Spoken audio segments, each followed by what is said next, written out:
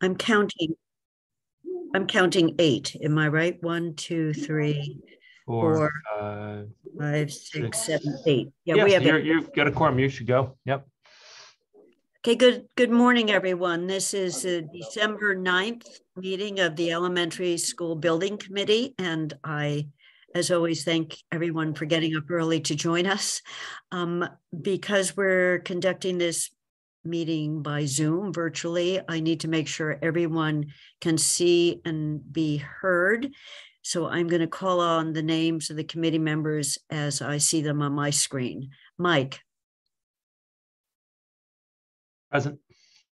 Sean, Present. Jonathan, Here. Tammy. Here. I hate Tammy. Rupert, Yep, I'm here. Angelica, Here.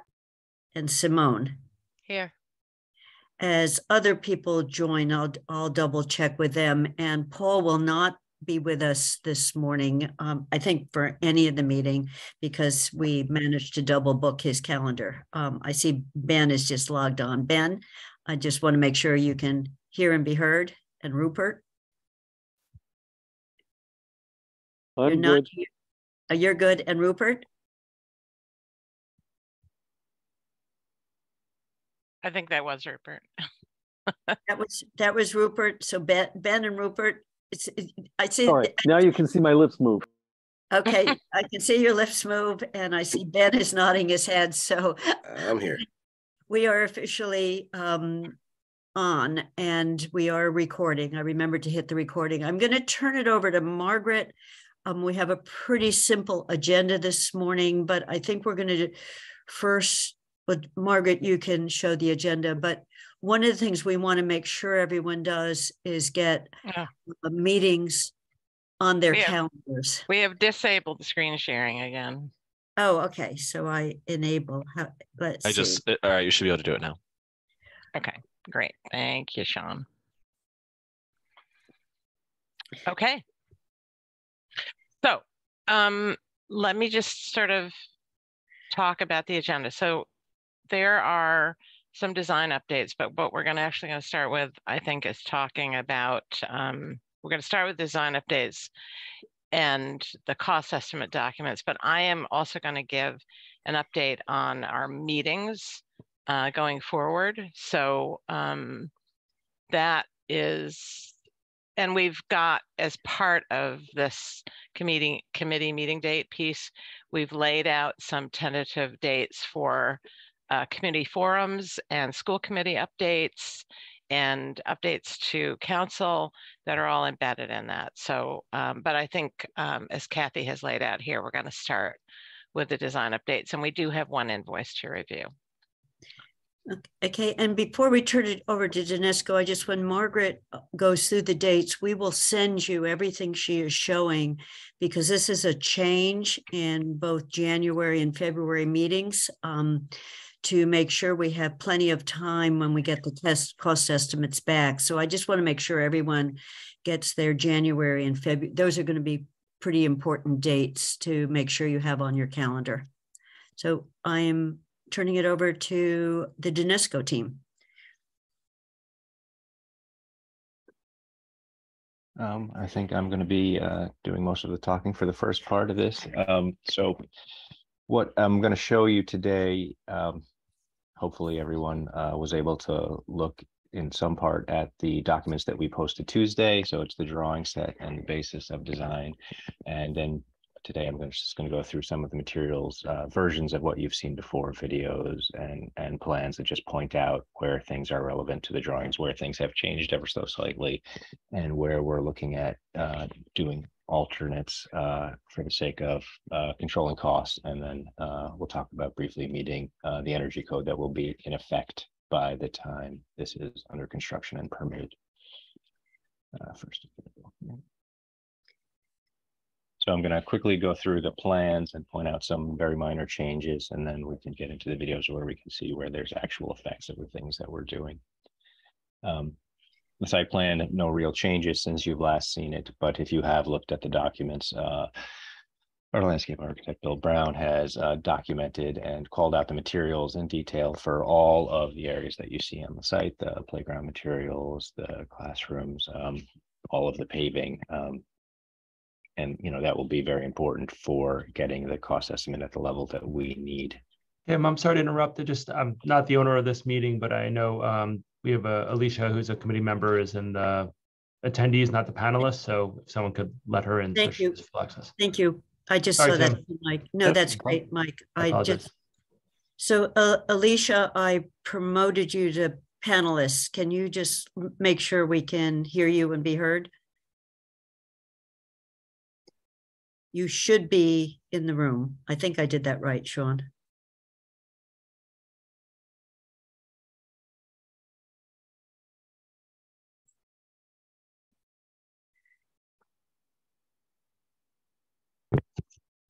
She's in the room, but I don't know if she can hear you. Do you want to ask her again? So Alicia, just, um, you're showing up as on, in the room with us. So can you just, uh, turn your mic on and let us know whether you can hear and hear us? And we can hear you?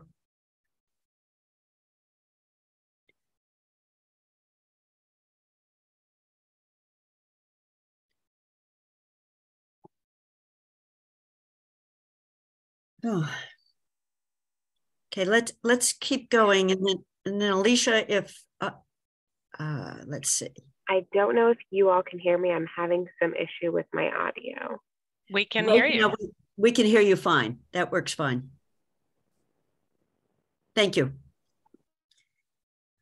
Okay, Tim. Thank you. Um, moving into the building, there have been a few minor plan tweaks, but nothing that will affect the uh, experience of the building user or that you will actually ever see. We've adjusted some closets in the service area now that we understand where the generator will be on site and how power will get into the building.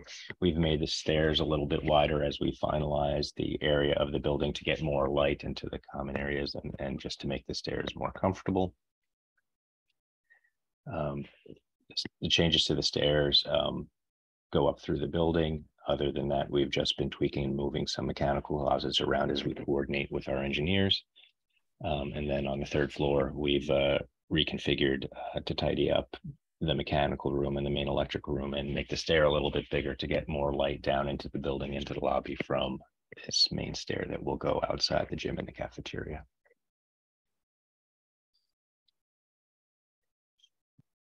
And then the uh, approach that we're taking in terms of being able to control the cost. Um, all of the uh, exterior materials that we've talked about in the past, the porcelain rain screen system, um, the ground face CMU that we might use for the lighter masonry material at the top of the building. Those will be sent to the cost estimators as alternates so that we can interchange as we get the pricing back. We've also asked for an alternate for the accent color panels next to the windows that we could either do in the um, glazed CMU, which we have shown you, which has a very vibrant color, and there's also an option to do it in a single skin metal panel, uh, which also gives you a very wide range of custom colors which are available. And then in terms of energy conservation measures that we will have in our pocket, uh, just to make sure that we are hitting the EUI and the energy performance of the building that will be required under the tenth edition of the code that will be in effect before we are going out to permit. Um, we are going to do an alternate where all windows in the basis of design are standard double pane. We are going to do an alternate for a triple pane window. We will also do an alternate for heat mirror, we're calling it. It's that's the trade name, but it's essentially a triple pane window, but the center uh, pane of glass is a mylar film rather than glass. So it's uh, a bit more cost effective than triple pane, but performs similarly. Um, we are also going to do an alternate for under slab insulation, uh, which is not required by code and by current modeling, we don't need. Uh, but due to some intricacies of how energy conservation and energy use is calculated in the new code, uh, there's just a little bit of wiggle room that should be resolved um, in the next month or two with Thornton Tomasetti, and we just want to make sure that we have the flexibility uh,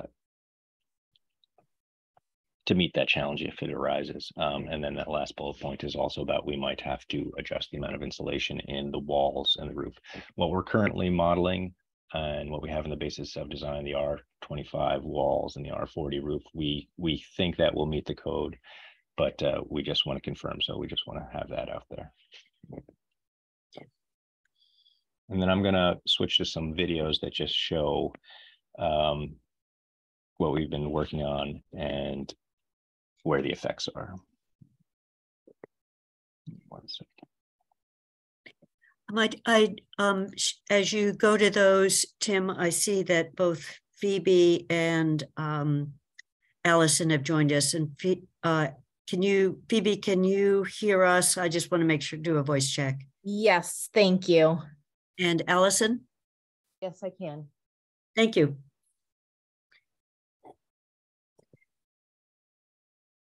So here's a video that you've seen before, walking in the lobby in through the main vestibule, going straight to the office. Um, all of the changes in here are not to materials, they're actually to, um, and you'll see as you walk around, uh, some minor things. We're adjusting the, um, proportions of the window to make sure that, uh, the clerestory is clear of snow and rain, but, uh, we've actually moved the roof down rather than remove any glass, which you're seeing up to the upper left, and you'll see better as we turn around. Um, as you look into that main stair, it's actually flipped hundred and eighty degrees. Uh, the stair used to be on, the upside used to be on the left, now it's on the right. This actually, as you go up through the building, will allow a little bit more light to come through. Uh, as the open side of the stair will be against the windows upstairs. Um, the changes that I'm talking about are at that level of subtlety.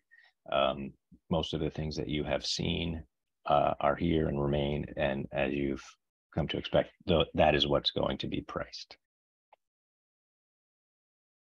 Tim, so I don't know if you want to just quickly maybe pause for a sec and just um, talk about the materials and as it relates to the basis of design.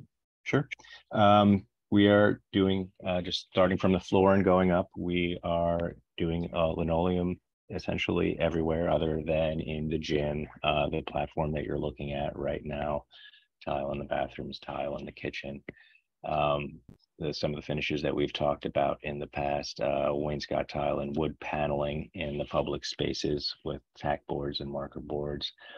Um, accent panels and rooms for art or room for art uh, at selected locations in the building. Here you're looking back towards uh, the lobby that's outside the stair and the elevator. And then circling around back to the front of the building, you have a wood veneer panel accent and glass into the music practice area. Sound absorbing panels on the ceiling and glass into the administration area. Um, this finish that you can see in the lobby is the exterior masonry material turning into the building to bring things together. Uh, the finishes that we spec are all durable, stand up to time, uh, and are cost effective uh, in our experience for uh, you know giving you the performance that you need for a school, which is uh, obviously a highly trafficked I'll say abused uh, type of building. There are a few more videos in the library and the project areas, and then we'll get to the outside. Just give me a second because they're separate videos.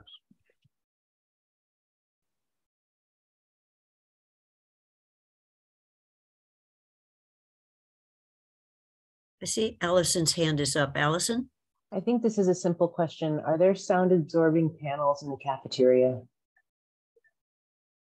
I'm going to go back to the cafeteria in one second. So the answer is yes. And I will show you where they are.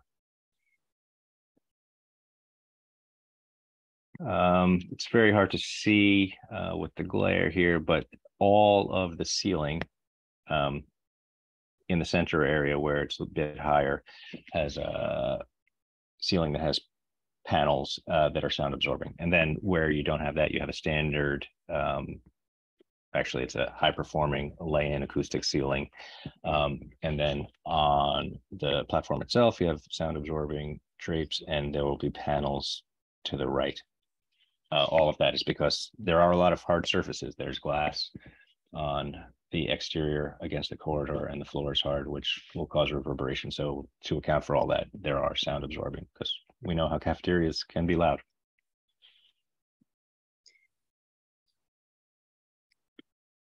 Jonathan, Yeah, thank. I see Jonathan's hand is up also. Yeah, it's just a similar question uh, regarding the gymnasium is presumably you've got some sort of sound absorption in there as well.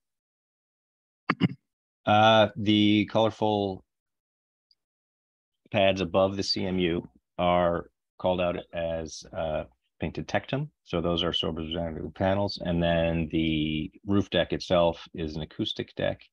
And uh, to an extent, the uh, crash padding also provides, but you do have a similar uh, issue, uh, you know, with with the gym floor. The, the extent that it is CMU, you have a lot of reverberant surfaces, but we do have tectum acoustic deck and wall pads in there to deaden the sound.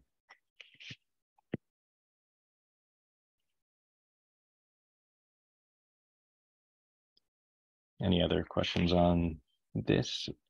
Next, I'm going to go to the project area.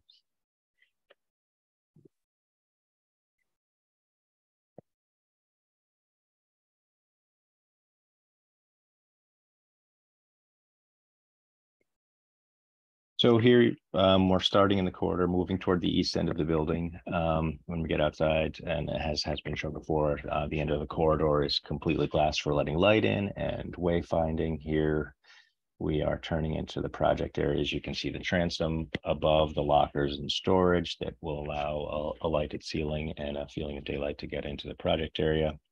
Uh, this time we have the doors open so you can see into the classroom. Um,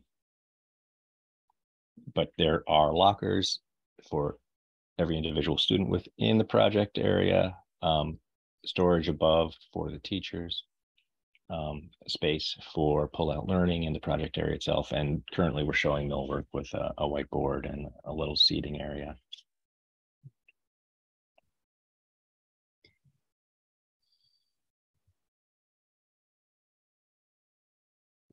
Uh, the ceiling elements uh, are visible as you're walking down the hall, but we've um, basically kept them not solid, uh, sort of uh, woven like to allow more daylight into the project area space. And then there's just one more project area view.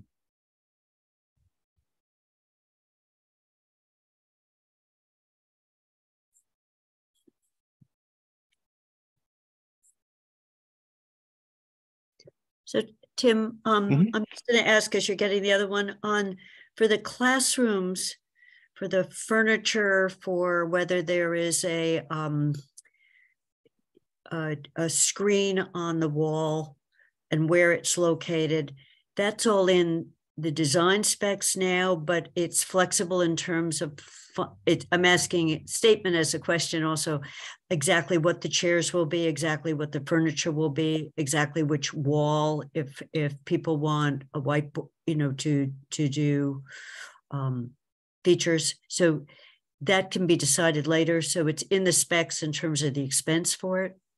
It's in the specs in terms of the expense for it. Um, the chairs will be decided later. Um, you know, I, I don't want to say that there's going to be individual flexibility on a room by room basis for where the whiteboard will be. Uh, but where that is um, in terms of the total design, um, there's still time to talk about that, but we have a pretty good idea where it should be for systems, for millwork, for the for the relationship of the teaching wall to the door. Um, this project area view actually starts in a classroom looking out the windows and then turning around to see the project area. So you can see that the teaching wall was on your left um, as you walk in. Uh, classroom chairs, this is tables, but it could be desks. Um, the uh, movable storage wall to the back. Here is the amount of windows that you will have in each room. And this is um, allows us to get to that 22% that will allow the building perform. Um, we had to make a few reductions in glazing area and in other parts of the building to hit that twenty-two percent, which is something we'll mention when we get to the outside, but we have kept what we've been showing along, all along in the classrooms, in the library and in the cafeteria and the lobby, because we know that, you know, those spaces that are, you know, used every day by the students and used most importantly, we wanted to make sure that was there. So we removed a little glass in the gym, a little bit in the admin, but we can get to that when we get outside. Kathy, um, Tim, if you could just pause, go. Mhm. If you could just go back into the classroom, thanks. I just, just to clarify, the furniture and technology are not in the base construction budget. Uh, what we're doing is those are separate, um, separate line items for MSBA. It's part of the soft cost. And what we're doing is we're getting those priced out now based on our conversations with uh, the school department uh, both for technology and for furniture and equipment. And we should have those by um, the end of the year as well. So we'll have those before our, as part of the total project cost, because that's what's important to the town. Um, as far as technology, uh, that has not hundred percent been decided. And so what we're doing is we're looking at the different costs as far as what the projection on in a classroom is going to look like, whether it's going to be a interactive projector, whether it's going to be flat panel t- uh, screens. I don't want to say TVs, flat interactive flat panels. So we're working with Jerry and the school department on those features. So I just want to make sure everyone knows you're not going to see a line item for some of those things in the cost estimate. Um, items that will be included in the cost estimate is the sound, uh, the PA system, which will also, as part of that, which will be built into the ceiling, will include a, a sound system for the staff. Uh, the it's called um, Top Cat system. It's a sound reinforcement system that will be included as part of the base contract. Where the teacher can wear a lapel and uh, amplify her voice or his voice instead of having to yell. That will be included in the base contract. Um, I see Tammy's hand is up also, Donna. Thank Yeah. you. yeah, I just, um, I just had a question in regards to the, the tables or desks that I see. I really like that they're individual and can be moved around. Do we know if those or whatever desks that will be in the classrooms could be raised? I know that, um, there are some students, particularly in fourth, fifth grade that like to stand, to have a standing desk. It's just, a-. Sure, sure. Um, so where we left off with the um discussion was the lower grades would have tables, the high, the older upper grades would have desks. Uh, every, every classroom will have a stand, a standing desk. Tammy, some, some of the younger grades can, those can be adjustable. The fifth graders, we're going to have to purchase a separate standing desk just because of the size of the fifth graders. But um, so based on the feedback that we've had, and we can walk through it, the furniture and equipment, you know, it's really we need to know now, we need to include it in the budget and make sure that it's accounted for. But we will start having really detailed conversations about exactly uh, the color, the type, the um, book, I'm seeing that we have the um, bookshelves under the desks, whether that's, that's preferred, not preferred. We'll- We'll get into all of that detail later in the design because uh, products, manufacturers change their furniture um, on a, on an annual basis. And we'll just make sure that we have the latest as we start going out to bid for it. Angelica? Uh, yeah, my question is along the same lines as Tammy, and I know that the, the the specifics of the design choices will come later, but it is related to cost because um, I am also thinking about the choice of chairs as it uh, applies for students with disabilities and making sure that because some of the challenges we've had in previous uh, furniture choices, say in the cafeteria, really affected the ability of students with disabilities to be included. Because, for instance, chairs couldn't be raised or they were attached to to sort of like the they were already attached to furniture so it would be nice to be able to see ahead of time some of those choices and get some input from the folks um, uh, in the uh, special ed office to make sure that the costs are included for things that um, may be put in each classroom that can better include students with disability. Thank you. Yeah, we will, we will, Angelica. It, it goes everywhere from the type of seats um, and, and the flexibility of those seats um, all the way to the standing desks uh, if preferred. In the cafeteria, of course, we will make sure that there's sufficient space for handicapped students that that need to sit at the table and won't won't fit in a seat and things like that. But um, a lot of the special educators will be very helpful, especially as it relates to the ILC program, to weigh in to a lot of these choices. So thank you.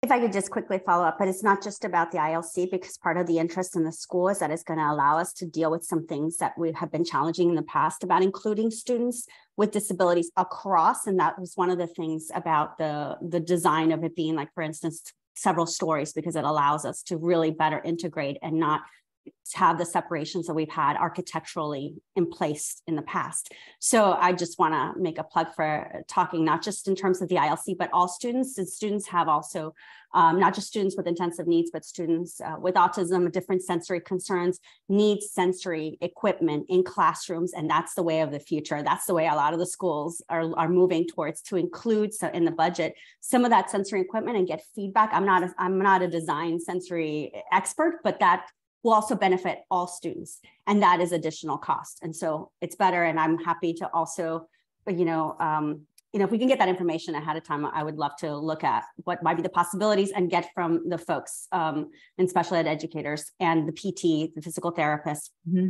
to get their input on what equipment might be best because it would be a good investment to go ahead and have that equipment rather than depend on each kid's iep to request that equipment and have to fight for that equipment because it's just we can just institute it now Right, and and thank you. And I I I was referring to the ILC just only because they really have special needs and and they've been great advocates. But but we do um, include and the PT folks are really important when we start making decisions on the type of chair or options on chairs, whether they're um, what we call um, hockey chairs where the kids can move around and and have um, kids that that can't sit still and the standing desks another example equipment's a different conversation um, but the furniture itself uh, we have we will have a, a good handle on that as as we present the budget in at the beginning of the year. And those conversations again can continue and um, be refined as as we move forward. So I, we, we hear you. I, I just want to make sure that uh, we fully understand that need.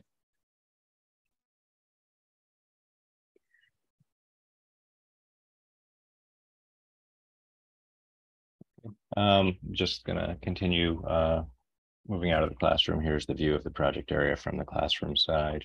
As you walk into the corridor, you can see the whiteboard that we currently show in the millwork, little sitting areas. Um, and this is the view across the hall. Um, you can see the doors with the wide side lights, the transom glass, um, all of which is an attempt to bring the exterior light into the building and these project areas, which are going to be the hub of activity for these grades. Um, DiNisco team, I just want to say, um, having watched, you know, seen a lot of these presentations, and I, I want to say to the committee, I think that we haven't had as much chance as we would like to to talk here in the committee about the detailed design of the classrooms, but I think they've done a really great job and I want to thank them for their effort. There's a kind of theory of classroom design, which is behind a lot of what you're seeing and maybe when we get into the next phase, we can talk about that in a little more detail. So um, I think it's really well done. Um, with that, we're gonna go to a quick view of the media center.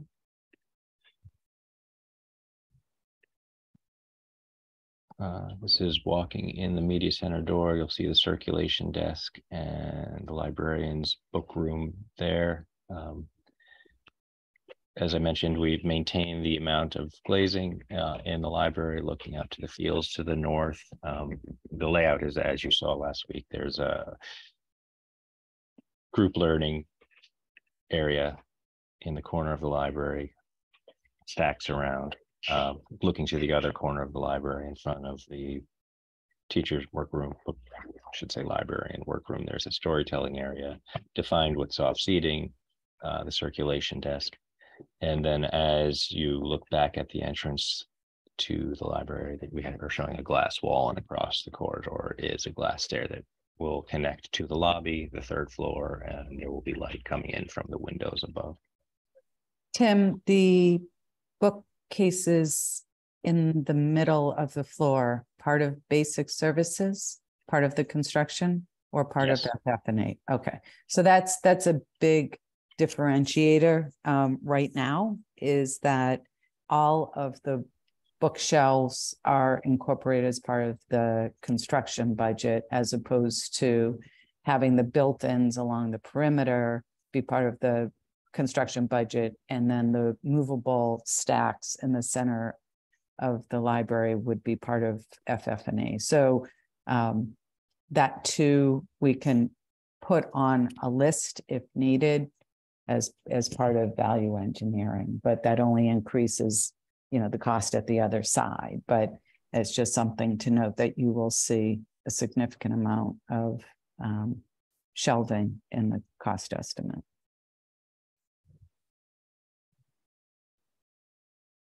Tammy, Tammy, sorry. All right. now, can you just look at the instructional area in the library? I just want to make sure that there's, is there Uh, gonna so- be technology there too? Because That would be, okay, I just didn't Yeah. see it. All right. so uh, granted, you're looking at it obliquely, it's against this wall. There is a break in the shelving there. And then just, um, it's, it's there to capture cost and the amount of seats and the technology. There's a, a pretty good argument that it probably wants to be over where the storytelling area is, just because you know, surrounded by windows and projection, uh, and distraction is, is maybe not the best thing. Uh, and the storytelling area might rather be here, but, uh, all of that is yet to be finalized and, and we hope to have a, you know, a very in-depth discussion about how this library in detail is going to work. Uh, Phoebe, you have your hand up? Um, so Donna, your, uh, your, what you just said made me just have kind of an overarching question. Um, in terms of when we get the cost estimate, the detailed cost estimates back, um, do we go through that all together, like, um, in, in significant detail to figure out what's included there, what, you know, what's not, all of that kind of stuff? Well, we'll have two estimates, Phoebe, and both will be 50, 60 pages long. So um, the intent is not to do a page turner. Um, what, what, uh, there will be a summary uh, sheet, which might be helpful that will break it down by division is what they're called in the construction world. Um, so meaning we'll say, okay, this is mechanical, this is fire protection, this is plumbing. Uh, here are um, what the paint is, what the different materials are based on divisions. And we can go through that. And that's why we're kind of letting you know now as we're going through this, this is these are the materials that are included in the cost estimate, but we can have these videos as well when we can go through a high level review of the cost estimates and then we can get into the weeds if in certain areas if if there's a a desire for that. But but Uh, we the- the- you the- you could schedule you could schedule a whole day if we needed to go through it in detail. The written basis of design is also probably the most user friendly way to read what is represented in the cost estimate because it describes the systems that are included in the cost estimators use that in lieu of a spec, uh, technical specification to to develop their estimates. And that's what we're looking, what you've sent us, Rick, is, is what Correct. it's for them and for us. Thank you. Sean, I see Sean's hand is up. Thanks, Kathy. Uh, two questions. Tim, you probably already answered this and I just missed it. Um, what's the flooring in this room? In the library is carpet, and that's the only building in the room with carpet. Okay, yeah, you Room probably the heard, you've probably heard some of our carpet tear out stories. Okay. so, Um, and then the second question related to Phoebe's uh, previous one. Um, if people are interested, are they able to attend the cost reconciliation meeting? Just to sort of listen in to that process, or is it, um, I, I've been invited to one for the library, a little bit smaller project. I didn't know if it was something that people could attend for the school, just, just to hear sort of the back and forth conversation around that. Uh, I'm gonna punt to Rick or Donna, but typically if the cost. I, I'm gonna punt to, to maybe Margaret on this. It's- yeah, this, that one's coming to me. Um, I, I would say no, um, because, but I do think, um, we could have a, a kind of wrap up summary session, um, after it. I, I think, I mean, first of all, it's, it's often at this level, a three to four hour meeting. It's Mhm. really kind of like watching paint dry. Um, so I want to say it's, it's not the, and it, and it's highly technical. So I see Jonathan's got his hand up. So I would say no, but I think we could certainly arrange to have a summary. Yeah, and- Jonathan? and, and I, I think that's my understanding too of, of it. I just know some people have been interested in getting into sort of the, those very fine details. So, um, but interested to hear what Jonathan has to say. Yeah, I, I would tend to agree with Margaret that my my experience has been they can be very long um, and they are very technical. Um, I think if if folks want to do a a deeper kind of understanding or exploration of of what's in the cost estimate, uh, I wonder if there's a, a way to um, you know to to have kind of a, a deeper kind of review of the the basis of design. Um, because like Rick, I think that's that's where the meat of what's going into this estimate is. Um, and if um, you know folks want to to to more fully understand it, I think that would be the place to start. Um, but but but maybe Phoebe, if if if there's more to your question about uh, you know understanding the estimates, um, it would be good to under, understand your question more if, if we're misunderstanding. I, I don't think I don't think there's a, a misunderstanding. I think I'm just trying to um, put all the pieces together, and so we have this, you know, ginormous document that we just got um, that I'm um, doing my best to get through, um, and it would be it, it would be very interesting, and I think um, to try to be diplomatic. I think it would be good for the town that we live in to really understand the correlation. And in order to understand the correlation between this document that we have and the document that's going to, this being the document that is going to ultimately um, have a direct reflection on our costs, what materials are being used, what materials, you know, uh, people are coming back to us and saying, um, you know, this is how much this is going to cost for this thing that you've given us um, I, I think I was just trying to figure out how much of that detail do we all get to hear, see, you know, really get a feeling of. So that's where my question was coming from. Like, how, like how much of the pieces are we going to put together as a group in the public eye? Um, that's kind of where I was coming from, if that makes sense. Yeah, so Phoebe, the base of design, yes, that enormous document and and it will get bigger um as the project progresses. Um but but the that that basis of design is what the cost estimators are basing their estimates on. So so if you know, I think maybe it might be helpful to understand, okay, so, so just so for everyone to understand the cost estimating reconciliation, it's going to be two cost estimators.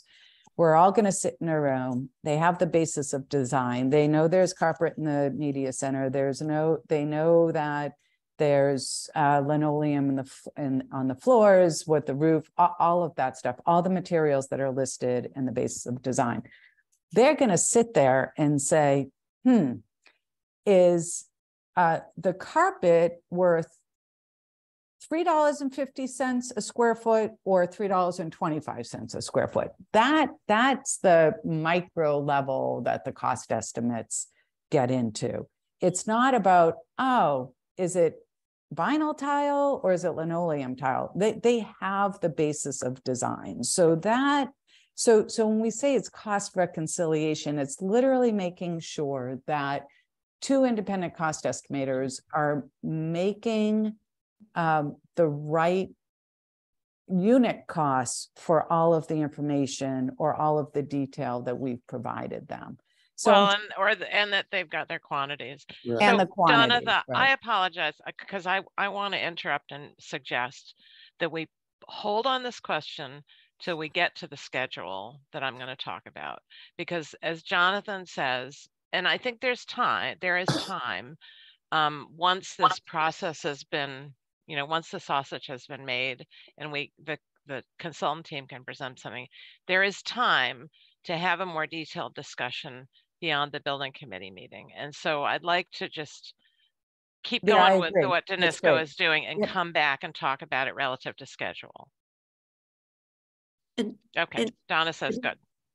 Uh, And, and I, I agree with that. And I just, as you get to the end of this, um, what I think I heard Tim say at the very beginning when he was doing, um, insulation and there's been code changes that you're grappling with.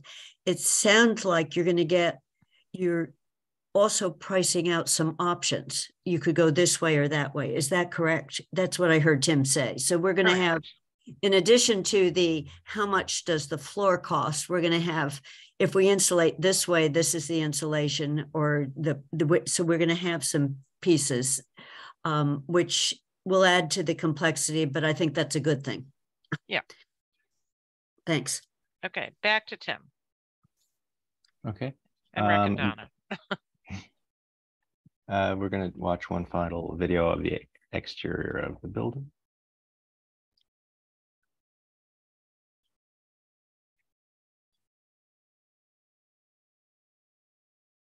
And this should look uh, much as it has before.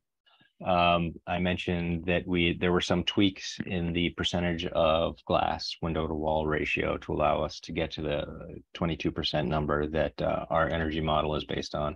Um, some of that reduction, uh, the, if you have very good eyes, you'll notice that the punched openings, the windows at the administration suite are slightly narrower. Uh, they're still ample and you have clerestory window coming in to the right of the lobby, but that is one of the decisions we made to get down to the number. Uh, the cafeteria and library, as we sing going around, that glass has all been maintained.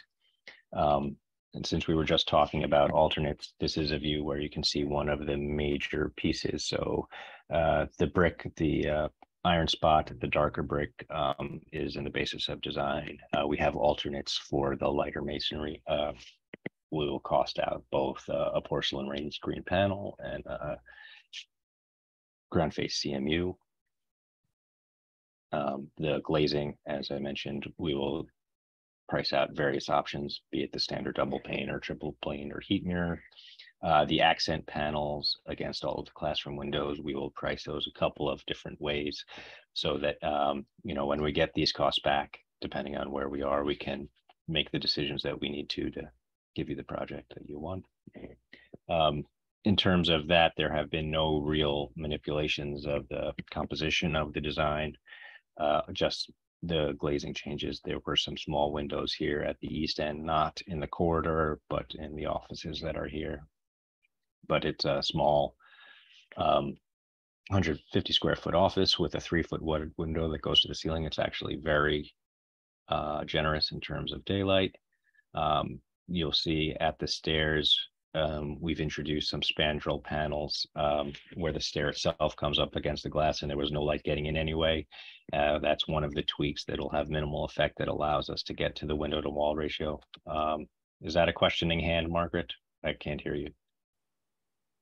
Can you just quickly explain what a spandrel panel is? Um, so uh, the curtain wall that is shown here at the stair, uh, it's a continuation of the curtain wall system, but it's an opaque um, window element rather than vision glass. And then behind that, there will be insulation, which will allow it to perform as any other part of the wall, uh, basically up to the R25 assembly. So it helps on the insulation and it hides the structure and other stuff behind it that you don't really want to see. So, Correct. Um, we've taken the same approach at the main stair in the center of the building that the kids getting off the bus will go up. Uh, right now, it's shown as a spandrel panel within the curtain wall. We may color match uh, the panel around it. Uh, but that is one of the effects that, are one of the tweaks that we made to the envelope. We also took a little bit of glass out of the gym, if you can see at the corner between the door and the clerestory, which is still on the southeast and west side and still very generous. And we might even reduce that a little bit more just for glare. Uh, but those are the changes that we had to make to get the window to wall ratio down to 22%.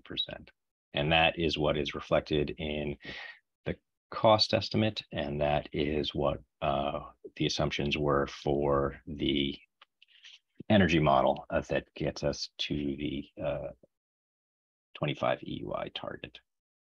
Tim, can I ask in the gym, you know, given that it's south facing and has this glare issue, have you looked at the modeled or, or will you model the how the daylight uh, works in that room relative to uh, sports activities?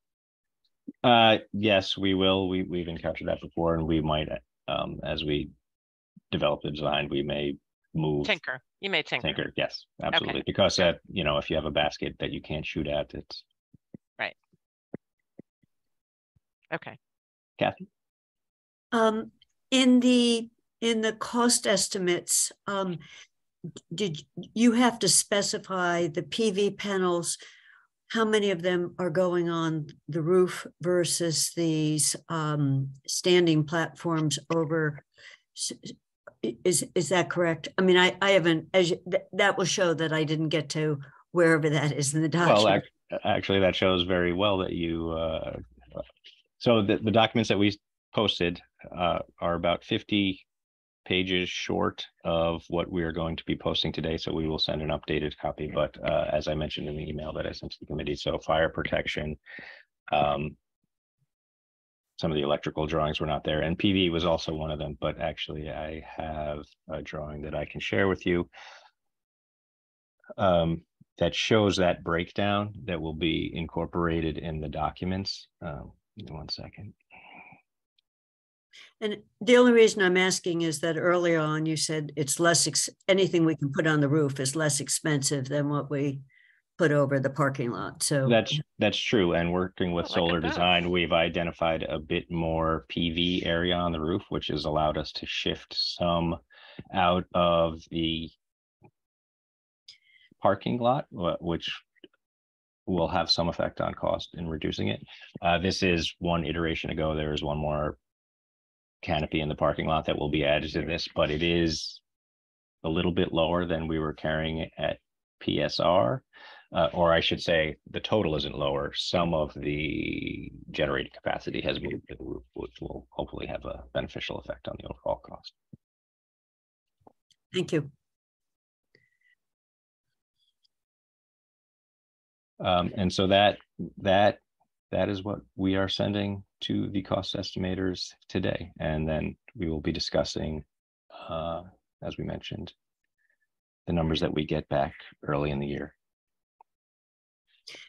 So I want to just add a, a follow-up question on the PV panel and the canopies. Um, when you give us a cost, I noticed sometimes the line for that was a different number than the line I saw in the sustainability. And it was just sometimes it had the design costs added onto it, and sometimes it was just the direct costs. Will we get that level just on breaking out? Um, and I'm asking it more on on thinking of where there might be federal credits, where there might be, you know, so not so much the total building, but being able to see that array that you have to design it, you have to buy the panels and you have to install it. Will we get uh, all those pieces so we can see that package? There, there will be a, a detailed breakdown of the PV, um, much like all of the other systems in the building. And since it is part of the project and not a separate contract to PPA, um, the same markups will, will, will be included like any other direct cost. I don't know if uh, Donna or Rick, you want to add Well, to that? yeah, so, so it, it will go in, um, we really don't want, so it, there'll be a line item or multiple line items, but there, there'll be a section just for the solar, Kathy. It will be part of the direct cost. And then all of the contractor markups, design contingency, et cetera, will be applied to all of the direct costs. We can pull that out separately uh, for, for the benefit or give you those numbers for the benefit of any tax incentive that you're going after, if, if that's your question. That was Right. my question. And I guess my question, it's a question Margaret keeps carrying at the bottom of our minutes that um, let's assume this is all a go and, and you're now got the papers and you've got a, uh, an overall project manager. Does the project manager have to take on all of the PV panels or could you contract at that point? Since it's going to come later, I mean, the design has to be in your building. Could it come later? And it's, it's not a question I need answered now. Um, it's just thinking about when we incur that expense, it, you know, we, it comes, well, none of, we can't actually install them until the building is built and the, and the parking lot is in, but so, so it's, I don't need it all answered now, but it's, it's breaking that out potentially for the contracting that you're doing Yeah. as well. Yeah, Okay. Emma, we, we could do it um, two ways, uh, you know, um, circling back to the town of Lexington. Uh, what, what they've done for their recent um, couple of projects, non-school projects, is they obviously were carrying the cost, they're owning the systems, but what they did was they hired a separate um, contractor and so they bid the PV separately. Uh, the site contractor was respons the, the, you know, the main project site contractor was responsible for the conduit and, um, maybe foundations for the PV canopies in the parking lot. So you need to coordinate it, but then another contractor came in after and, and installed all of the PV. Okay, So, I just- so, yeah, so, so there my are question. different ways, yeah, yeah. There So are, there are options that we're gonna there's, that was my question. There's options. So, Yeah. okay, I think that was exactly what I wanted to know. Thank you.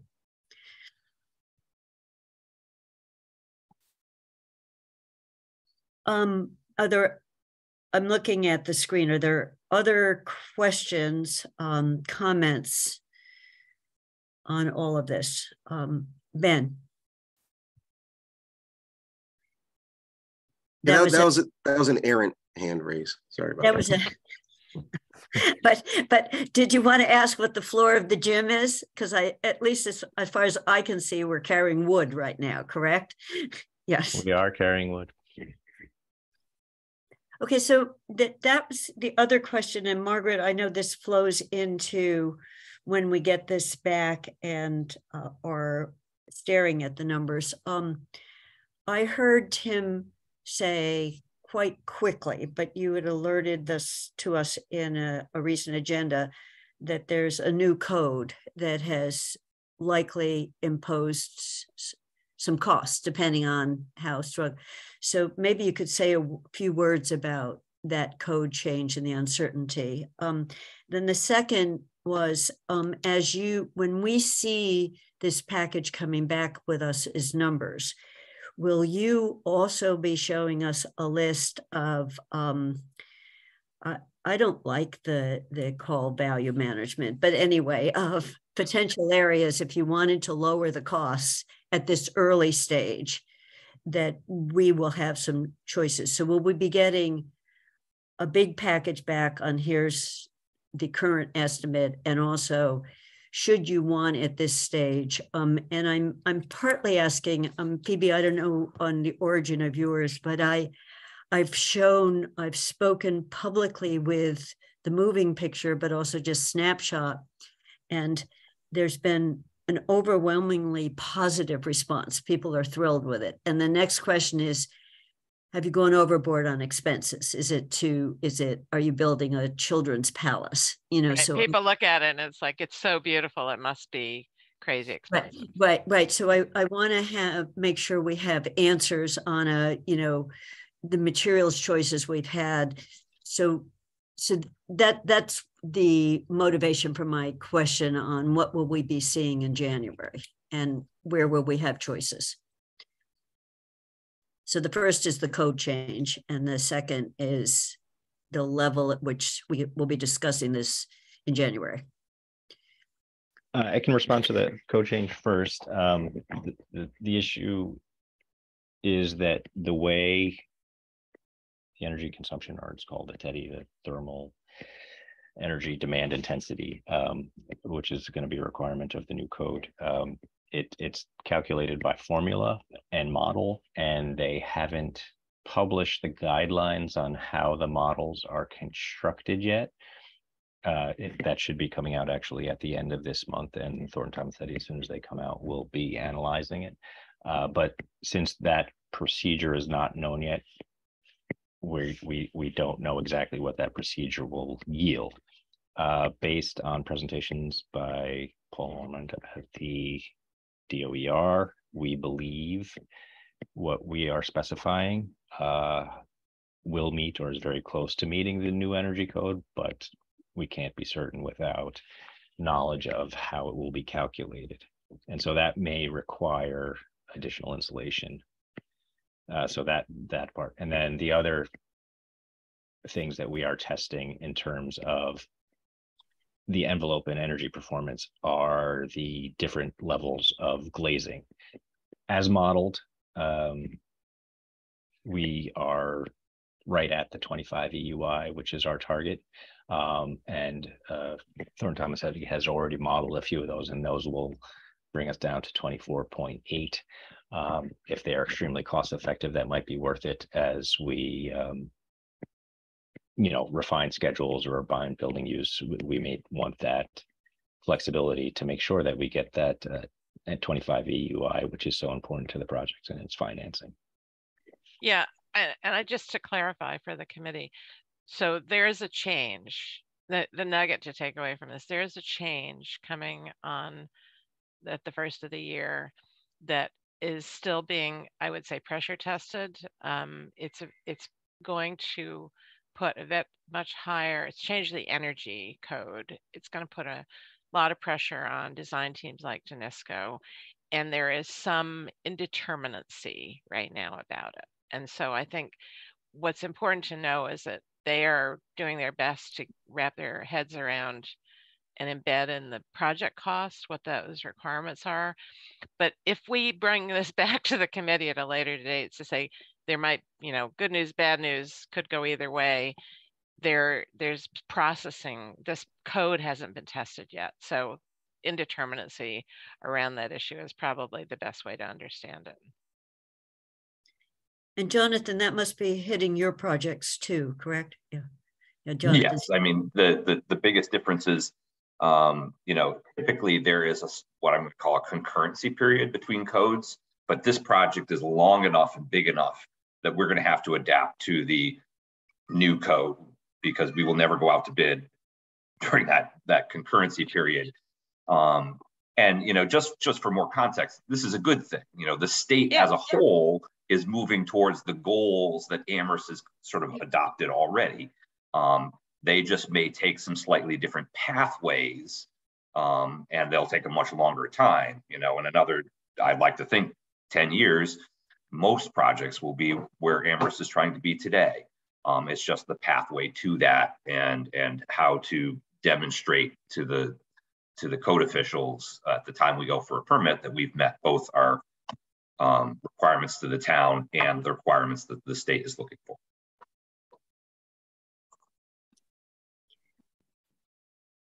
And it requires a highly, as Tim was saying, a highly technical analysis to figure out whether you're getting there.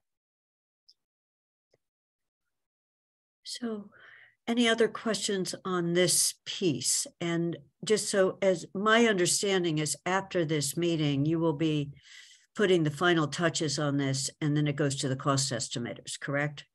That is correct. Tim, the acronym for Teddy is, Thermal energy demand intensity, I believe. but what's the thermal? It's T E D I. Yeah. TEDI, Oh, okay, sorry. great. Yeah, yeah. Just It's for my not notes. Teddy bear. Just for my Yeah. notes. I wanna make sure It's not it a teddy bear. It's Not a teddy yes, they bear, I think think it's teddy bear, but say- it's they not a teddy bear. No, they, they said they just thought that that would soften the the crazy demand that this is going to require. Just sounded cute. Okay, so seeing none on this, Margaret, I think now we, we go to you for um schedule. Yes, let's do it. Okay, so I'm gonna sort of start at a bit of a high level and sort of drill down just to, you know, ground everybody in this, what we're talking about. So, um, can everybody see my funny little diagram? So this is kind of an overview. This is an overview of where we are right now. So um, we're about to hit the first uh, beginning of 2023, which is, I think we'll all agree, freaking unbelievable.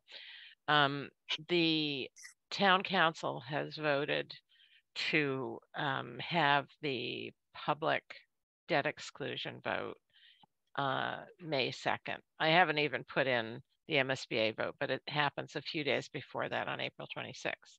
So what happens after that is there is a period of detailed design. There is the bidding of the project and there is some construction documents, uh, sorry, construction. Um, and then a period where the building is, the furnishings are being installed, the existing building is being demolished, and then the school is open. Uh, we hope for the fall of 2026. And when that school opens, then there is site work going on, wrapping up at the end of 2026 to take the where the existing building was and sort of put all the final site work in place.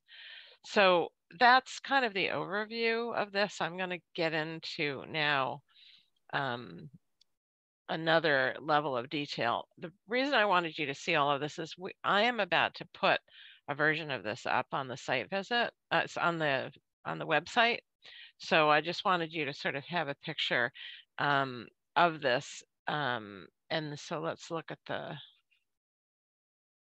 the next the next level down. So what it means for the committee is, um, and now we're really just picking up in May. So the the vote has happened. Hopefully, the vote is in the affirmative for the project, and now this detailed design period happens. So in the public facing schedule, I'm just showing this as a detailed design period. In fact, it's actually broken down into several phases. There are several submissions to the MSBA that occur. Um, this committee will not need, need to meet as often. We're targeting probably a monthly meeting, maybe a couple times. It's going to be every three weeks. So, um, and it will be sort of following along with what we've done. During um, the design development period, there's going to be an opportunity in the beginning of 60% CDs, there's going to be more in an opportunity for more community input.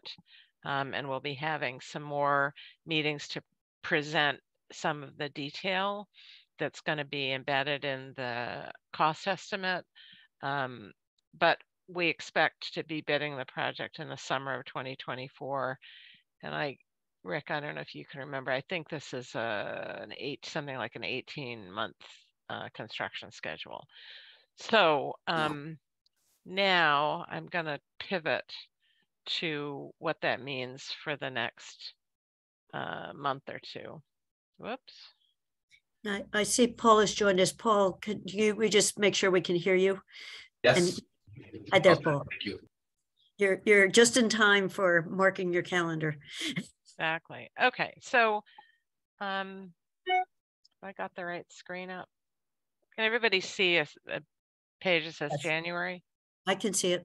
Okay, so um, I'm going to talk through the month of January and February for everybody.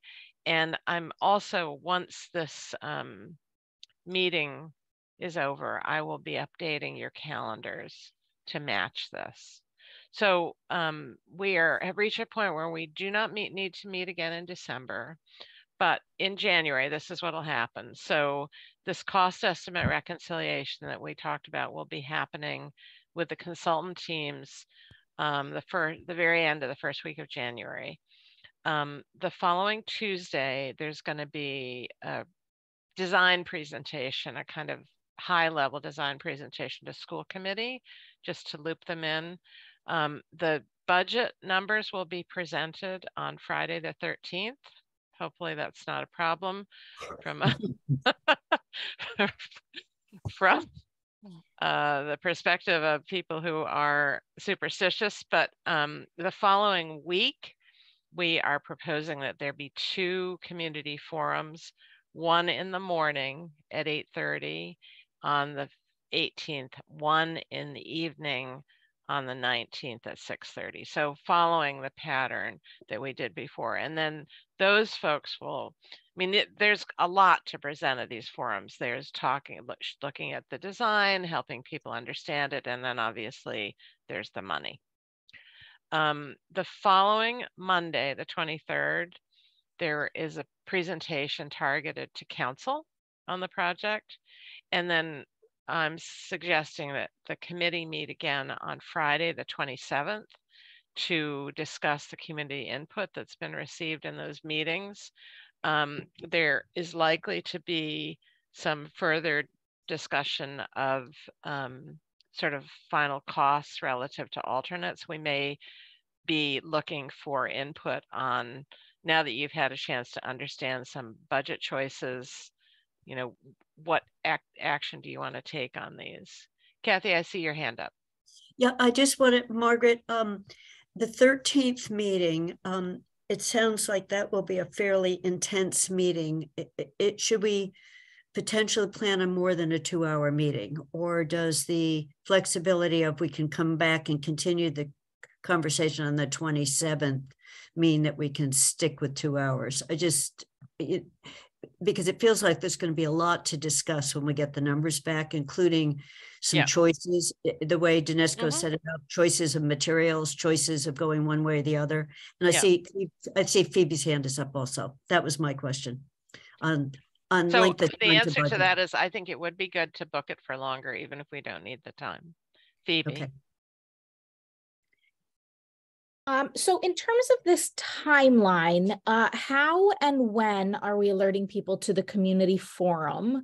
Um, I think this is a really good opportunity um, for us to practice, uh, you know, early and complete disclosure and um, really get people involved. Um, and I'm recognizing that, you know, this is just a little bit over a month away and we have uh, you know, kind of a major holiday for a lot of people coming in the middle of this. Um, and when, so when you guys are doing the cost estimate reconciliation the first week in January, when can we as the committee expect to see the information that comes back?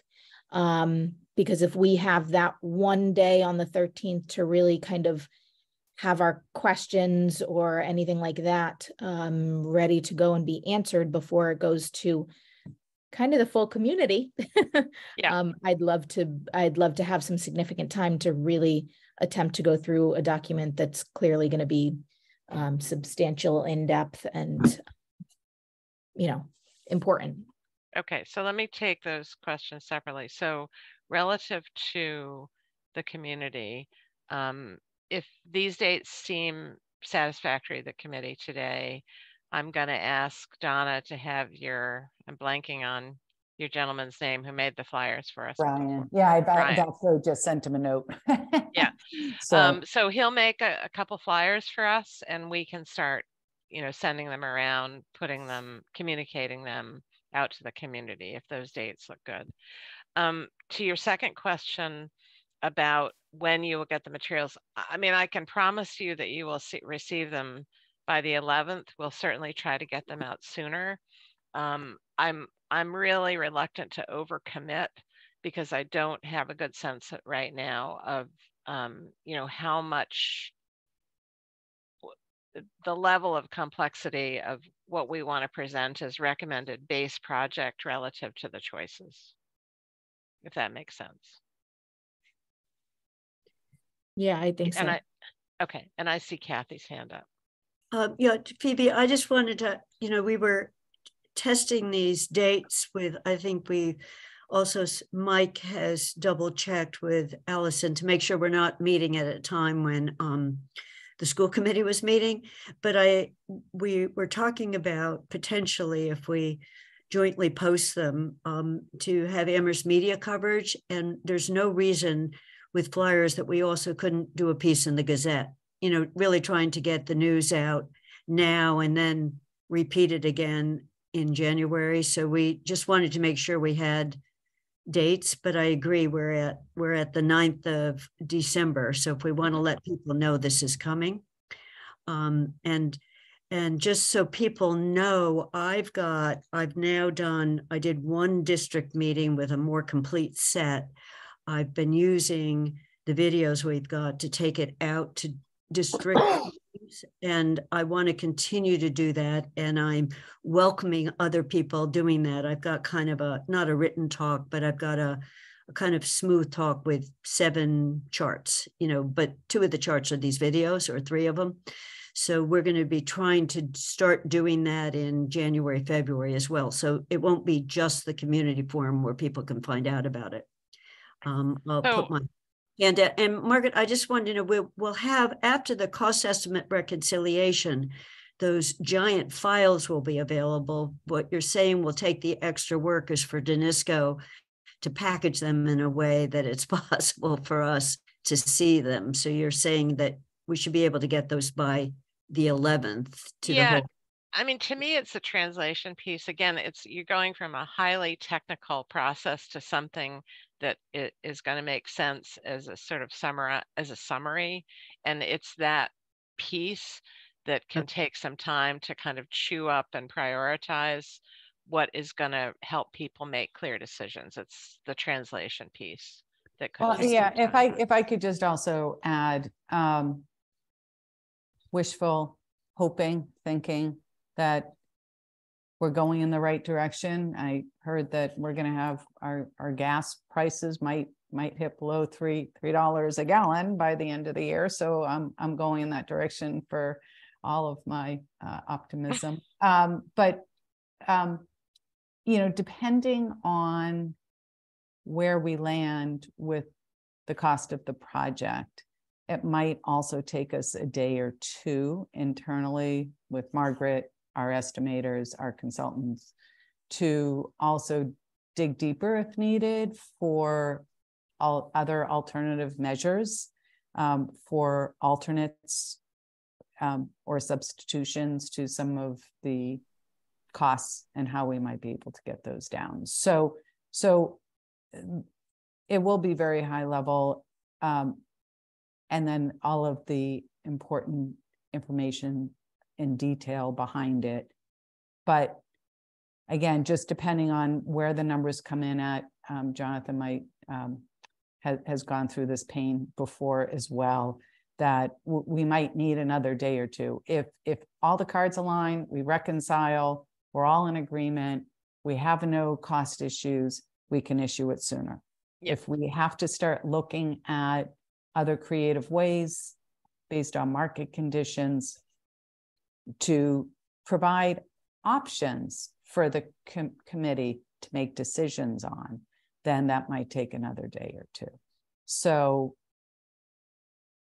it may look like we have a whole week, but but we really don't have a whole week. So um, I, I just want to make that clear that our work doesn't stop on Friday the sixth. Yeah, exactly. Um, and Phoebe, one comment, and then I want to. I see So Jonathan's got- Jonathan's hand is up. Yeah, I see that. Um, so Phoebe, to your question about, you know, could there be a further detailed discussion? Yes, I would say this this Friday, the twentieth, is an opportunity for an additional meeting if it's desired by the building committee, and perhaps we should treat that as a placeholder. So Jonathan, your thoughts?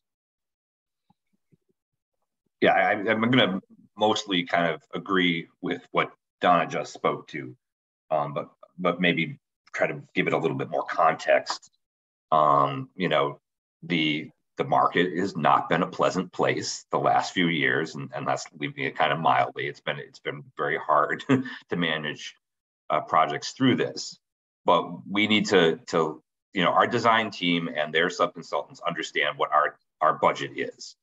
Um, and if the numbers start coming in in a place that we all don't like, we're, we're going to have to lean on them pretty heavily to guide us through the series of choices we're going to need to make as a committee in a town to bring the project back into line if it if it isn't there after that reconciliation process. Um, and it's you know it it's it, it's a matter of balancing different needs um, and they're going to have to look at the building as a whole system and then kind of look at the sub parts of that and figure out what what can be adjusted, what what items can be changed. Um, and we really want to use their guidance to look at those those series of, of options, um, as opposed to you know looking at at a 60 260 page um, estimates uh, and and try to pick out line items because that, that that's not how you get from a, a, you know from the market saying you're over your budget to being back into your budget. So Phoebe, your hand is still up or up again? Again, I just had another uh, relatively quick question. So, this I, I'm trying to figure out if you're just letting us know that there's a proposed school committee meeting, or if the plan was to potentially present this uh, cost estimate to the school committee on that day. Um, and then before that gets answered, Margaret, briefly, I, I do like the idea of having a placeholder on the 20th. Um, I, I, I am feeling, as you guys can probably tell, pretty strongly that we need to make sure um, that we're, we're really all very much on board to show that strength to the community, especially knowing that, you know, a few short months after this, we're asking our town to um, vote on a, a very, very substantial, uh, very substantial thing that I think, you know, everybody is very much, uh, most people are very much in support of, and most people are also very concerned about the financial aspect of it. Um, Okay. Yeah. So um, that I say that this is uh, a proposed school committee meeting because I don't think Allison has had a chance to go back. This was this is based on a conversation I had with Allison. Um, but I think, and you'll see that there's another one proposed in the month of February. I do believe that we owe the school committee an update to help you know bring them along as supporters of the project so that's why it's it's proposed it isn't she's got to actually confirm that with her committee But But Margaret, I Margaret, think sorry, if- but that's if- without cost, right? So, so so- the so this one is just talking about design and schedule and then they will get a presentation in february which you'll see in just a minute that is about cost Yeah, I think that was the question. They're not going to see cost Yes. because we see cost. Okay, Right. Yes, that was the question. oh okay got it i Thank you. that one totally went past me all right so let's talk about february um, and I also just want to say, remembering back to why we were recommending that we move this all to March, try to imagine if we were doing this all now, like that, that was the reason for sort of, you know, going to this um, March 2nd submission. So now The numbers are out there. People are sort of chewing on them. Um, this is this is where on the 10th we are proposing to bring you the entire schematic design package. So like the packages you saw before, the cost is is a component. It's a very big component of this one, but there are other documents. There are the final, uh, the the schematic design drawings, um, the specifications. There's there's quite a lot of other stuff. So that is the date that we're proposing to bring you this for discussion. This would be the latest date for posting that material. Um, the following uh, Valentine's Day, um, there this would be the date that the school committee would get an update on all of this. The 17th would be the date that you all would vote if you were in agreement to authorize the submission of the uh, schematic design to the MSBA. The following week is school vacation, and then the week after that, March 2nd, that is the deadline for the submission of this document to the MSBA. Any questions about all of that? So, so Margaret, just on a um, this time around, we get this giant document. We get to see it, ask questions about it, make potentially any wording or what other changes. 10th, we see it again on the 17th. And it looks like DiNisco has some time, unless they're all going away that vacation week. uh, well, I'm sure some of them are. I know. I, I, I, but, but what I'm saying is that they can, they've got enough time to make sure we make that deadline. And do you ever submit earlier? Is what I was going to say. To to the extent that MSBA, the MSBA team in the past has come back with some qu- clarifying questions and stuff, and I, Mhm. I just want to make sure we built in whatever I'll call it the bureaucratic time or, or the the Mhm. time that's amazed me that is time consuming. Um, just interacting with questions so that, but that's that's right. You, right. I mean, there's enough of a cushion here that we can do the final tweaks as needed and responding to any staff questions. Correct? Right. So let me make two comments about that. So the thing that isn't on here is typically the a, a MSBA vote, a board meeting is the day before a submission date, right? So in terms of what the staff are doing, this is actually a board meeting date and everybody's like full at the MSBA is full tilt towards the board meeting. So we can submit earlier and there's no reason that we won't, but I will tell you, they will not look at it until the second because that is when their staff is free to look. And just like the previous the previous submissions, the first thing they do is they go through and do a check that it's complete.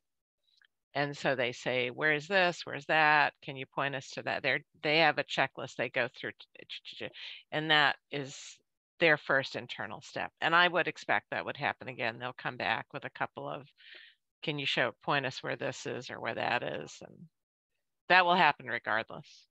It just, I don't think we'll, they will not turn to it until March 2nd, no matter what we do. Okay. Thank you. Kathy, and just, just to add to that, um, you saw how long it's taken to get review comments back from the other two Yeah. submissions. E- expect this one to maybe even be a little bit longer.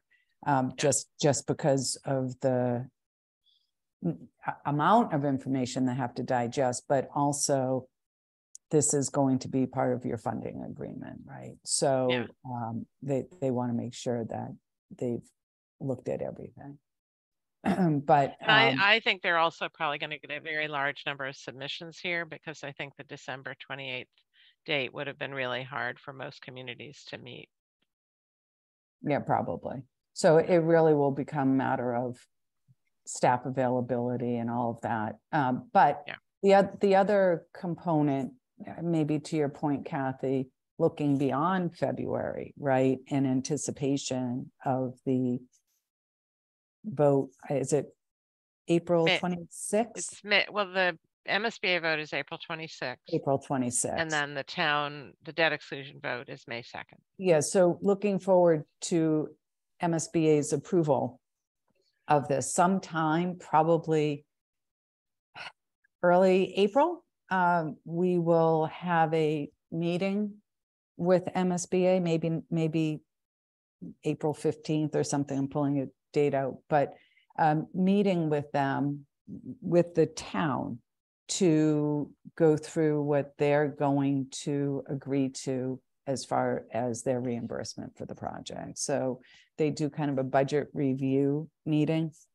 uh, with the town. It would be you, Kathy, uh, I would assume Paul, um, Mike Morris, maybe a couple of others, just to say, okay, just so everyone understands, this is our interpretation of what we're going to reimburse the town for.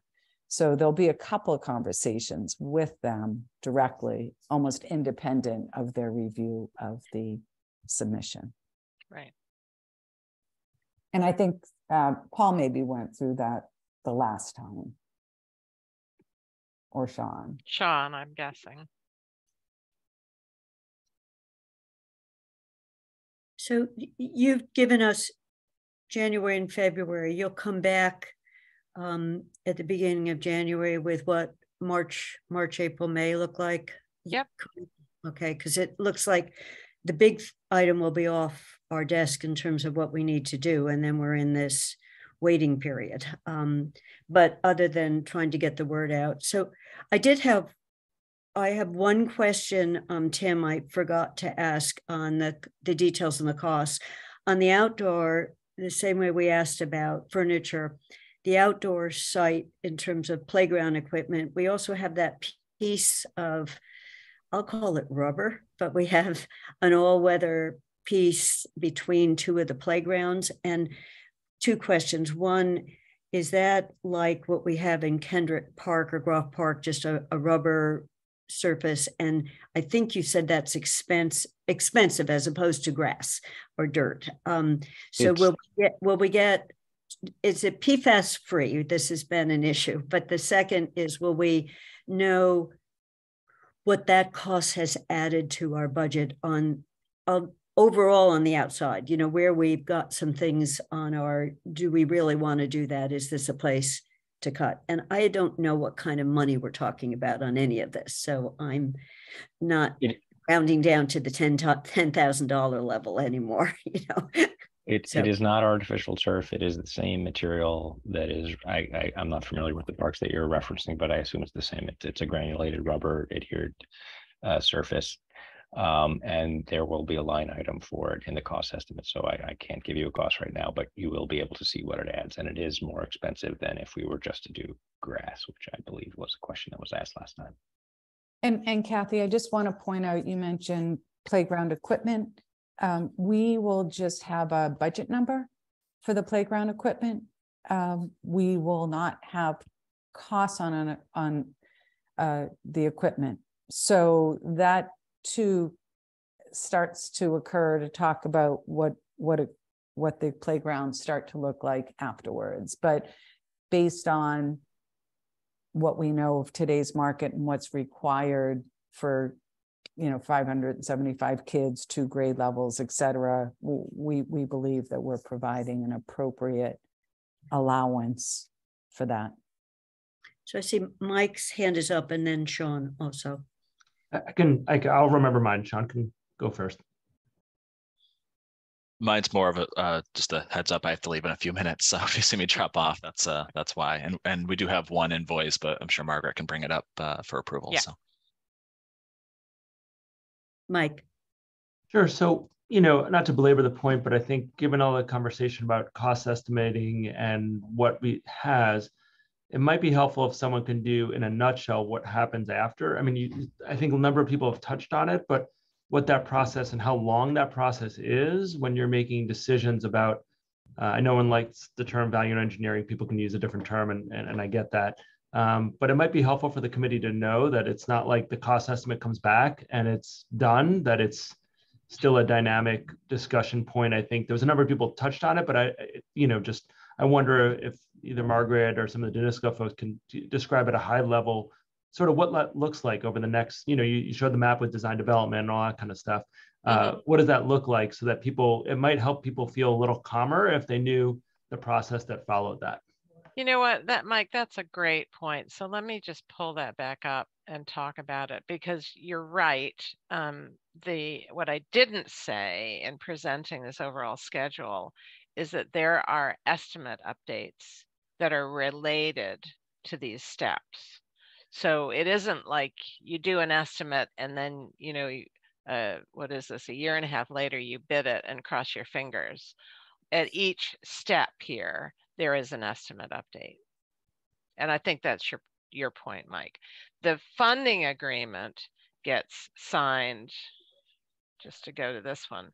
So the funding agreement with the MSBA gets signed in here, which is why this, as we've all said before, this getting the schematic design number right and having some contingency embedded in it is really important because once you've signed the funding agreement, the MSBA will not provide additional funding beyond that funding agreement. But we have the opportunity at these other points to look again at, at with the cost of the project and to make adjustments along the way. And that is a frequent occurrence. Mike, that I think is what you wanted to everybody to hear, right? Good point. So I'm, I'm, are there any other questions on either schedule? Um, because this is, we're not going to see each other again until after the new year. uh, uh, well, we won't see all of you. There's some other, some of you I will see frequently before then, but um, so we have, we have one invoice and then I want to, and then I want to open it up for public comments. So uh, Margaret, I think you can pull the invoice up. Yes, I can. Okay, so the invoice is from DiNisco and uh, with gratitude for their hard work. So um, again, I've I've highlighted because there's a lot of stuff on this page what it is they're asking for. So they're they are now billing on the schematic design line. Um, they are billing for their work because there's some also some consultant work on following pages. Three three three three three, the number you've seen before. There is a hundred thousand dollars left in their fee that will get fully billed out by the time um, we're at the debt exclusion vote. Okay, so um, they their consultants um, are also billing a bit this month. So there is some survey work. I think this is around sort of getting the wetland boundaries set, um, traffic engineering services. And so in total, this is the total number of the bill for this month, which is their their 33333 plus the consultant number for a total of 64 652. So does someone, anyone have any questions? Want to make a motion? Um, I move to accept, the- approve the invoice as presented. Is there a second? I'll second. That's Jonathan. And uh, I need, if you pull the screen down, Margaret, I can more easily see people to call on them. That's great. Um, are there any questions on this? Um, I guess the only question I have, um, I, I know you are, have done work on wetlands and there's some more work to do. Is, does all of that work get done before we submit to MSBA? Is it, will we see this again as we go before Concom, you know, to get like where, or, or does the Concom come later on? So it's a sort of a, is their work done yet or, and do we still have enough budget for them to do the rest of it? Uh, are, are you saying DiNisco's or? No, no, your, your subcontractor that's out there, Yeah, yeah. out there doing the data delineation during the wetlands, you know, whatever is needed for that going to, to, yeah. Yes, so, um, I almost said Thornton Tomasetti. Um, Whit- Whitley So Horse. it's, it's this, it's not spelled right, but this is the wetlands yeah, line what- here. So this is what's remaining to build. But there isn't. So, so back to Kathy's comment, um, what we found out was that the original survey uh, or wetland delineation that was done uh, several years ago did not include what what's called delineation sheets uh, to support some of the um, wetland boundaries. So, with that said, in speaking with Aaron Jock, it was agreed that they would go out and they would do a couple of more, or they would they would do some delineation sheets, not at the really deep level that would normally have accompanied that report, but uh, for the areas that we will be approaching. So yes, Kathy, I need that cost from Horsley Witten now that we know the direction based on our conversation with Aaron. So there will be some added costs not included in, in what's being shown right now. But I don't think it's a lot. It might be like three, three or four thousand dollars. And then that will get us to what is already included, as Margaret just showed, was was the ANRAD. So this, so for this, we'll need just a little bit more money, um, and then we'll be able to submit our ANRAD. And Okay. and just what we didn't mention to everyone is uh, first, I I really just want to say we appreciate everyone's enthusiasm throughout the town um, about this project. And Erin just could not be more excited about how we're really going to make an improvement to the site. And, and it really is an amazing town resource. Um, that said, great to work with, super accommodating, gets it, not looking for the town to spend any more money than absolutely needed. But uh, we will be submitting the ANRAD uh, in January. I think the ANRAD date, Tim, correct me if I'm wrong, was it January 11th? We were going to submit it I believe that's correct, yes. That was what Amy was targeting. Okay, yeah, uh, January 25th, uh, uh, Con- Conservation Commission hearing. okay. I- It was just a. Yeah, I didn't mean to get into that, but that reminded me, Margaret, we might want to put that on the schedule as well. Uh, we will Yeah, need good point. a, we will need a, uh project representative uh, to appear. So that would be great. Thank you, Kathy. Uh, so we will be submitting the uh, package to the Conservation Commission. Uh, I think the deadline is uh, somewhere around January eleventh. So, no, that's not right, but it's supposed to be three weeks in advance, around Yeah. the first of the year. Sorry to take the time around an invoice, but. um, No, that's okay, but yes, there, there, we, we have a little bit more coming and, and it's my understanding, Margaret, that there is uh, funds available within, Yes. within the allocated amount now. So I am, I think we're proceeding to a vote, so I'm going to call out names as I see them on my screen. Rupert, I vote yes. Ben, Also, yes. Tammy, Yes. Mike, Yes. Jonathan, Yes. Paul, Yes. Simone, Yes. Alicia, Yes. Phoebe, Yes. and Kathy is a yes. Um, so it's unanimous with two absent. Uh, Shauna's had to leave us, Margaret and Yep. and Allison. So any other questions, comments before I open it up to public comments? I'm not seeing any. Um, all right, so we are now open for public comments. And I see one hand up. And I'm going to, I guess that four hands are up. Okay, I am um, Bruce. If you unmute, I've allowed you to talk. Can you hear me? Yes. Yep.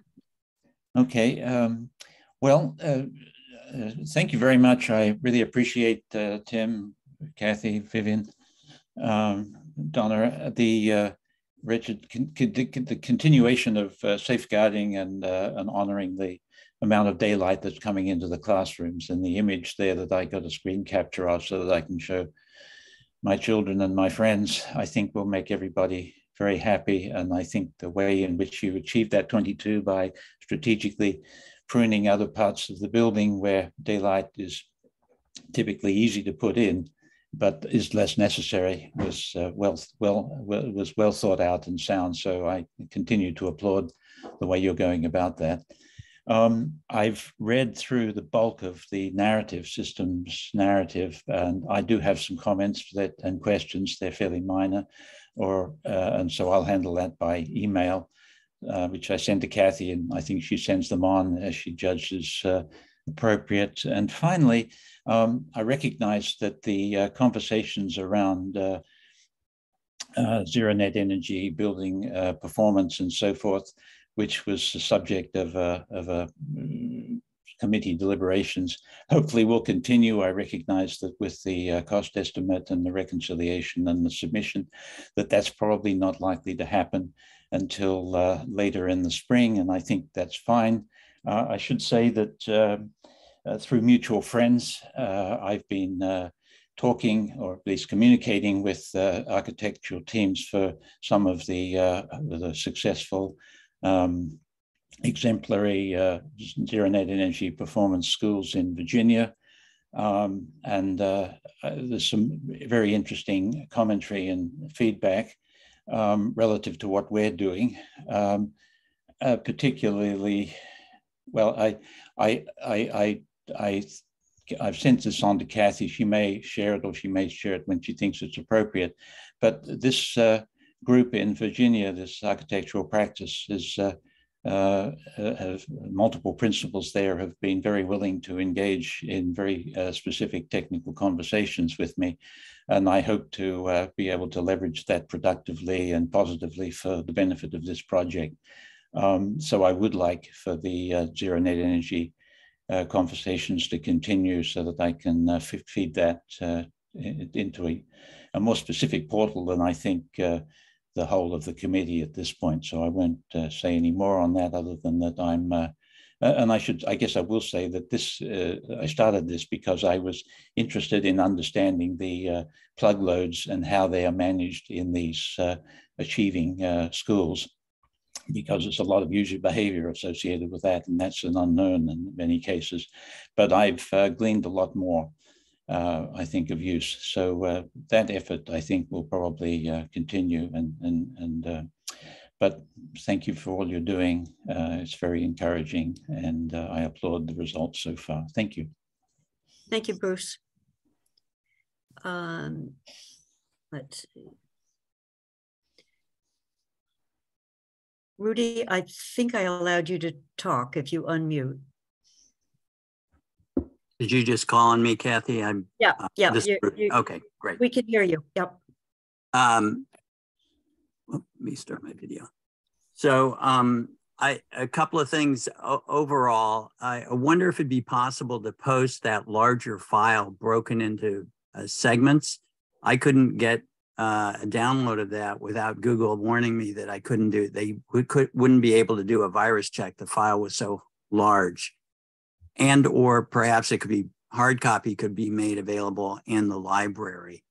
Um, so that's a request just so we can, everybody can review all the documents that you posted.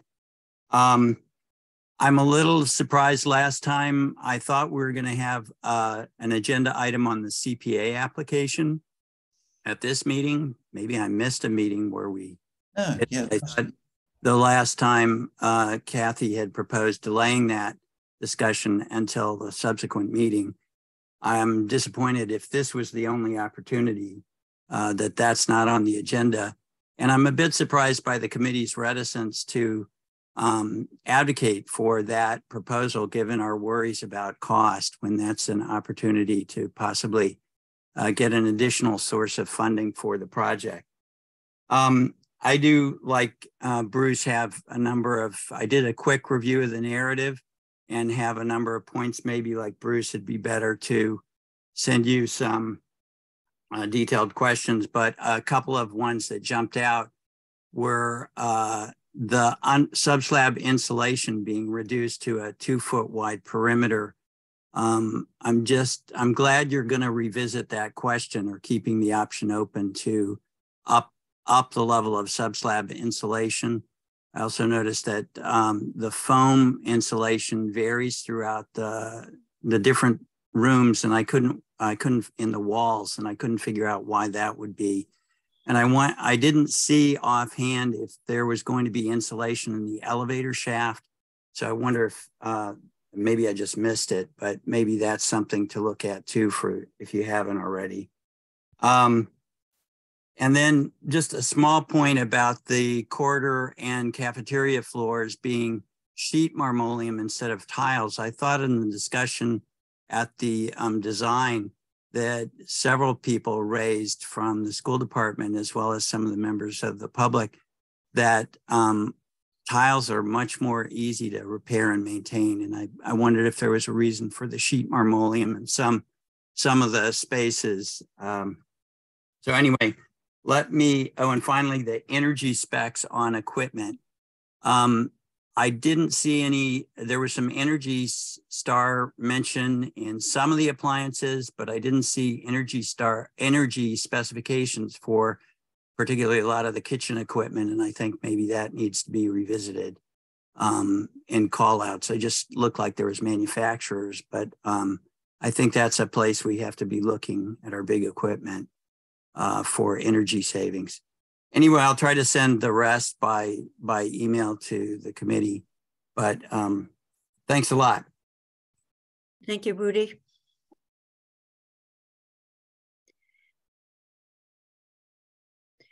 Uh, Maria, I, if you unmute, you're, you've been allowed to talk.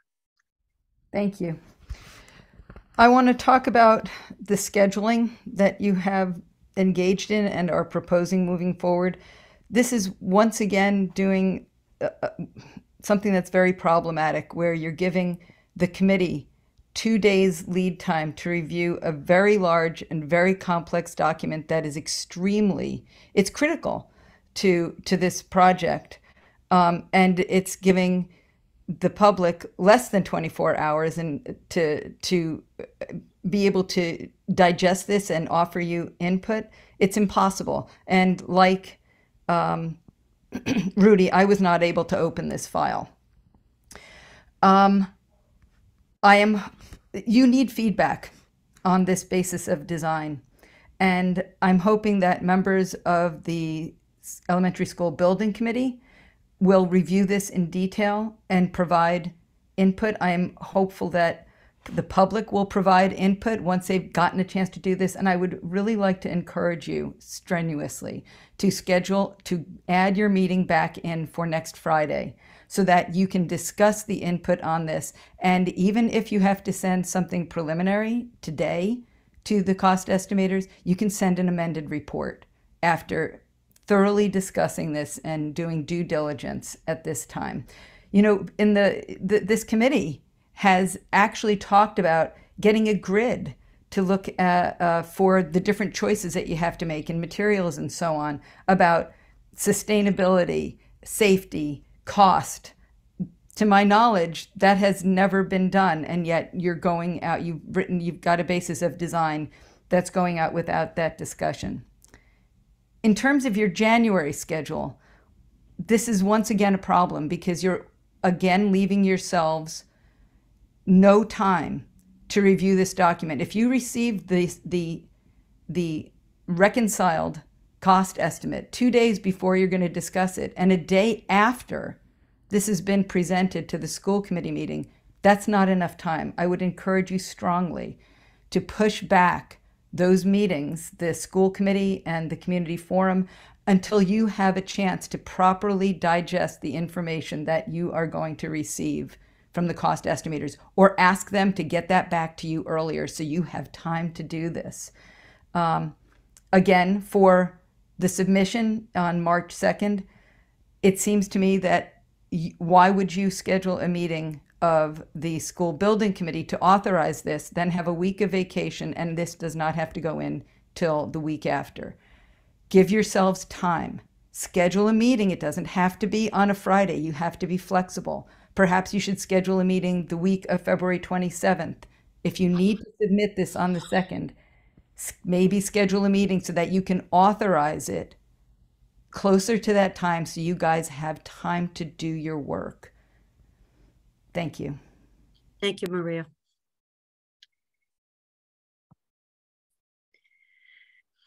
Tony. You are with us. Hello, thank you. This is Tony Cunningham. I haven't had a chance yet to review the basis of design, so I don't have comments to offer on the detail at this time. I do have three questions I would like to ask of the committee and DiNisco.